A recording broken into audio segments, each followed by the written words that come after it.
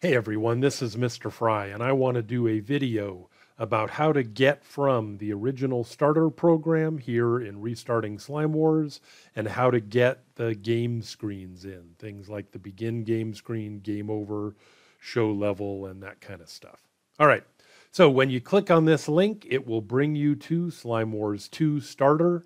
Uh, I made a copy of it so I don't mess up the original, and I want to show you all the different steps we're going to do. I'm going to go a little bit fast, but anytime you want, pause the video. You can replay it so you can see what's going on. All right, first step I need to do is create a bunch of backdrops. So I move my mouse over here to where backdrops are. I click on backdrops. Then I come over here to where it says backdrops up here. And now I have my main backdrop. It's called creepy backdrop something. I'm going to delete this name and I'm going to rename this one game because this is the backdrop I use for my game. All right, so now I want to make some new backdrops. So I'm going to come here to the choose a backdrop. And probably the fastest way to just create a black backdrop is to pick one, pick the blue sky like that, double click it. And then now come to the color. I want black, so I'm just going to click on the color black. Um, I click just anywhere to get rid of that box. Now I click on the paint can Click one time, and now that fills it with black. All right, so now I want a one that says um, Slime Wars, um, the title of the game, and press uh, any key to begin. So I'm going to pick green as my color. Um, I'm going to come here. I'm going to get the paintbrush. I want maybe a slightly bigger paintbrush. 28 is pretty good, and I'm going to write Slime Wars. I'm going to go a little bit fast. Slime Wars. Like that. I'm just doing this fast to show you. I'm going to do the rest of it in text. So I'm going to pick a different color, maybe something a little yellowy. And now I'm going to put a text box on here. And we're going to say press B to begin, like that. Um, I'm doing kind of an easier version than press the space bar. Um, so now I click on this arrow. This arrow lets me move this around. It also lets me grab a corner of it and make it bigger. So I'm going to grab it like that. Uh, that's maybe a little bit big, go a little bit smaller like that. Press B to begin. All right, and so I'm going to take this and I'm going to come up here to the title and I'm going to call this begin screen like that. Okay? All right. So that's my begin screen. It has the title of the game, how to get it started. All right, I want another black screen. So I come here, I click on it, click on blue, pick black over here, just click on it. Um, come down here, pick the taint, p- tipped over paint can, click on my screen. Now I have black, and this is going to be my show level screen. So let's type in that title S H O W S H uh, L E V E L, show level. And this is the screen where I'm going to put level one, level two, level three, all that kind of stuff. Um, I need one last screen that I want to write the words game over on. So I'm going to duplicate this black screen. I've already got one, might as well. And this is going to be my game over screen. So I'm going to say game over. If you wanted to get a game over screen from Google, you could do that. Or if you wanted to get a game over graphic, I'm just going to do the paintbrush trick again. Um, whatever color. Maybe I'll make this red because red you lose. That's good. Um, I come over here to the paintbrush and I'm going to say game over All right, so we've got four screens game, begin screen, uh, show level, and game over. So I'm ready to use these. All right, so let's think of anything else I'm going to need to get this game working the way I want. All right, well, one of the things we mentioned is that in this game, there are going to be different levels. We have a variable for score. We can keep track of the score, but we also want to keep track of what level we're on. We don't have that yet, so I'm going to go to make a variable, and I'm going to type in the word level. Um, this variable will be available to all sprites. So I say OK, that's perfect. All right, and so now I have a variable called level. And then the last thing I want to do is I want to add a new sprite. And this new sprite is going to have words written on it. So I'm going to create the sprite um, and I'm going to go to the paintbrush because I'm going to make my own sprite. Right, so I'm going to come here to T for text. I'm going to come here to the color. I'm going to pick something green and slimy looking. Um, and now I've got my text tool. So I'm going to write the word level like that. Um, I'm going to come to this arrow that lets me pick my word. I'm going to make it big like this. All right. And then now I'm going to do another text tool uh, right here. I'm going to write a number, number one. Um, I'm going to come to my arrow so I can select it and make it big like that. Uh, that's a little bit too big. Maybe like that looks good. All right, so now I have it saying level one. And so now what I'm going to do is first I'm going to name this level one. Okay, and now I'm going to duplicate this back this costume. So now I have another costume called level one. I mean called level two, but it says one on it. So I'm just going to double click that one, and now I'm going to change that into a two. All right, so now it says level two. It named it the next number for me. It was kind of smart.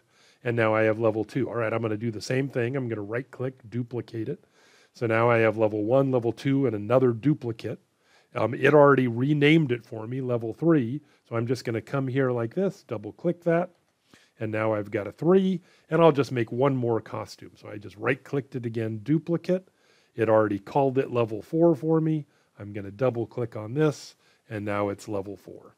So I have four costumes level one, level two, level three, level four, and we are getting close to ready um, to tell this game how to work. All right, so in the beginning of a game, you get to tell it every single thing that happens. It all starts with the green flag, so I'm going to get a green flag. And now I got to think about what I want to have happen. What do I want the player to do? My player is going to be my boss, and my player is going to do all of my background switching. So when this game starts, I want to pick which backdrop it starts on. It's not game over. It's going to start on begin screen. So I'm going to get that. Switch backdrop to begin screen, and then I want to make sure my player is hidden. So I'm going to come down here and I'm going to get hide. So when the green flag is clicked, I switch backdrop to begin screen. All right, now the next thing that's going to happen is I need to wait for somebody to hit the B key. So I'm going to go to events I'm going to go to events and get this one that says it starts off normally saying when the space key is pressed. If I click on this little arrow, I can pick whatever key I want. I'm going to get the one that says when the B key is pressed. And when the B key is pressed, then I'm going to tell everybody, hey, it is time to get going on this game. So basically, now what I want to do is shout out a message to everybody. So I'm going to broadcast a message that it is time to show the level. All right, now actually, I think I've already typed in that message. Let me check. So I typed in that message, show level. If you haven't typed it in yet, you'd come here to new message. You'd type in whatever you want and say OK. Um, so I've already typed it, so I'm going to come here and just pick it, show level. So when the B key is pressed, show level. All right, so now what I want to do is I want to have something waiting for when I receive show level. All right, when I receive show level, um, I want to do a couple things. Number one, I want to make sure I'm on my show level backdrop. So I'm going to switch backdrop to show level. All right, so switch backdrop to show level. Um, I am going to um, let's see, make sure I'm hidden. I already know I'm hidden, but it can't hurt just to be careful. I'm in looks. So I'm going to get hide again. Um, and then basically all I'm going to do, oh, right, no, I've, I've already broadcasted show level. So the last thing I'm going to do is I'm going to wait for one second. And that'll just give me enough time to show what level I'm on and then move on to starting the game.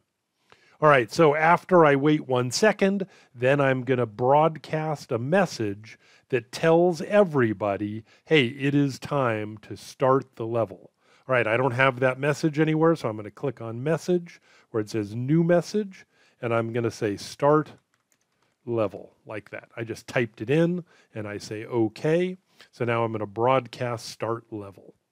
All right, and then I'm going to use start level instead of green flag in both of these places and any other place in the game where I want the game to start a little bit later on and not right at the beginning. So I'm going to come here and I'm going to pull this down a little bit. I'm going to throw out the green flag. I'm going to pull this down a little bit. I'm going to throw out the green flag. And now when I receive start level, that's when I actually want to get this whole thing going. So I'm going to click this up here like this. When I receive start level, that's good. I'm going to get another one when I receive start level. And so when I receive start level, that's when I get these forever loops going. Everything gets going. I set all my stuff. Okay. Um, everything is looking good here. About the only thing I'm realizing I forgot to do, um, I made a variable, uh, remember, called level. Um, where's our level variable? Here it is. It always alphabetizes them for you. And I never once told the game what level we should start at. So I'm going to get this thing right here. Right now it says set ground. I don't want ground. I want level. So I'm going to click on level. And I'm going to bring that here. I'm going to put it right under the green flag because when the green flag is clicked, I want my game to know, hey, we're on level one right now. So I'm going to set level to one. All right, so let's think here. Green flag is clicked. We switch backdrop to begin screen. Um, we wait now until the B key is pressed. Once that's pressed, we go to show level. And once we're on show level, we wait a second and then we start the game. All right, so we're looking pretty good here. Now let's make sure that everybody else knows what to do. All right, let's check the ball. When the green flag is clicked, it hides so we don't see the ball. Um, when the space key is pressed, it shoots. That's fine, doesn't bug us. And when I start as a clone, no problem. So the ball is actually okay. We don't need to do anything. Let's check about for the bad guy. All right, the bad guy, when the green flag is clicked, it wants to start a forever loop and start making clones. Well, I don't want that to happen when the green flag is clicked. I want that to happen when I receive start level. So I'm going to break off this forever loop. I'm going to go to events and I'm going to get when I receive start level. Right now it says show level. I'm going to click on that and make it say start level. So now when the level starts, that's when it'll spit out new clones. In the beginning, green flag, it hides. When it starts as a clone, it knows to do all its stuff. Probably the only other thing I need to do is make sure when it's show level that I'm not on the screen and I don't keep making clones. All right, so I need to do two steps. First one is I come to control and I need to tell it to stop this forever loop. Stop all would tell every program everywhere to stop, so I don't want that. I just want to stop other scripts in this sprite. So I want to stop this forever loop. So I say stop other scripts in this sprite, and then the last thing, just in case there are any clones out there, I want to delete this clone. Okay, uh, show level, do that, and we're all good. And this takes care of our um, bad guy. So it knows when the green flag is clicked, it just hides. When it receives start level, that's when it actually comes out. And when I receive show level, it doesn't spit out any clones and it knows to go away. All right, so now the last thing is this words of level. Um, this is where it's going to print on the screen. Now I can just kind of drag this a little bit to the middle, kind of like that. There, it looks pretty good in the middle. That's fine. All right, so when the green flag is clicked, what do you think I want to do? Hopefully you knew when the green flag is clicked, all I want to do is hide. Um, and then the thing this one's listening for is when I receive show level. And when I receive show level, I um, show. So I go to looks, um, I show, and then it was waiting for a second. So I'm going to go ahead and wait for a second too. And then basically after a second, I hide. And that is all I do. Um, now, there's only one other thing. How do I know what costume I should be wearing? If you remember, I've got all these different costumes level one, level two, level three, level four. So, how do I know which costume I want? All right, well, I'm sure going to need to switch my costume. So I'm going to come up here, I'm going to get switch costume. Maybe right after I show, that's good. And I could switch to level 4, I could switch to level 3, but I don't really know which costume I want. But what I do know is that if I'm on level one, I want costume one. And if I'm on level two, I want costume two. And if I'm on level three, I want costume three. Well, that lets me do a cool trick. Instead of needing to tell it what number I'm going to use, what I can do is I can tell it to put in whichever costume I am on that level. So when level is one, it'll switch to costume one. When level is two, it'll switch to costume two. And every single time I come back here, as long as level is changing, it'll know how to go to the next costume. All right, that's pretty good. Let's give it a test and see if this is working. All right, I'm going to make this big. Um, I'm going to get rid of these variables. I don't see lump speed, don't see jump speed, don't see what I am. All right, now I'm going to come up here, start the green flag. When the green flag is clicked, Slime Wars, press B to begin. I'm going to press B, and then now it shows me level one, waited a second, and now my player is here. All right, I'm hoping to see a cube in a second. I shoot the cube, and all is good. All right, so now the last thing that we haven't done is make it so that when the cube hits me, I actually go to a game over screen. Right now, what we did was we made it so the player dies and it stops everything, but it doesn't go to a game over screen. So let's see if we can fix this really quick. All right, for that, I need to go back to the player. Um, and I'm going to go down a little bit. I'm going to go down into these functions, and I want the function called collision, this one right here. It says if touching the cube. All right, so it knows how to check. It knows if I'm touching the cube that I should die. It switches to throwing attack 7. That seems weird, but that's the costume before the first dying animation. Then it's going to do dying for me five times, um, and then it's going to stop everything. All right, well, rather than stop everything, what I actually want to do is shout out and tell everybody um, that it's time for the game to be over. So I'm going to click on events right here. I'm going to go to broadcast and I want to broadcast the message um, that basically says not show level, but I want to broadcast a message that says game over, like that. Okay, all right, broadcast game over. Okay, so now I'm going to come back up here and I want to check and make sure everything's all good. All right, so when I receive show level, it switches backdrop to show level, it hides, and um, we're all good. So now I got to do something a little bit like that for um, when I receive game over. Right, I'm going to move these around a little bit so I have some room. Um, and I'm going to get when I receive like this. I don't want show level, I want game over. So the basic things I'm going to do are begin, switch my backdrop and hide. I'm going to come right up here to this one and I'm going to duplicate it like that. So I'm going to switch backdrop, not to begin screen, but to game over. And then it's going to hide, and that takes care of my player. So when I get game over, my player knows switch backdrop to game over and hide.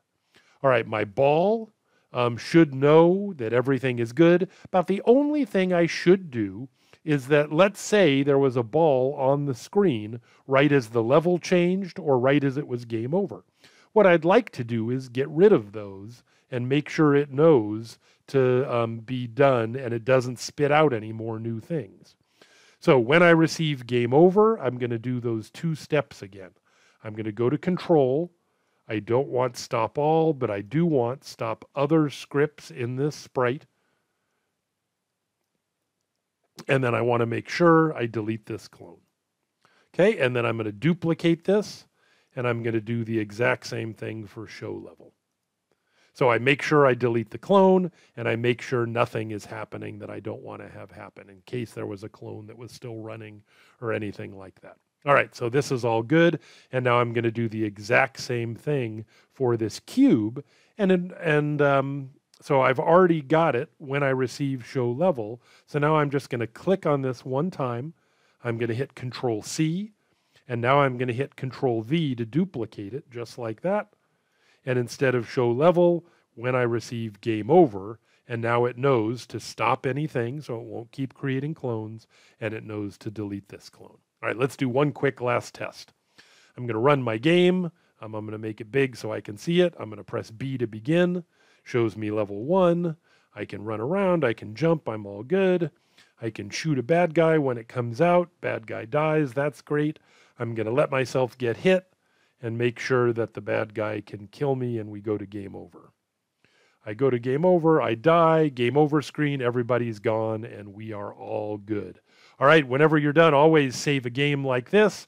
And this is how you get all the different game screens to be part of the starter package. Hope this was helpful for you.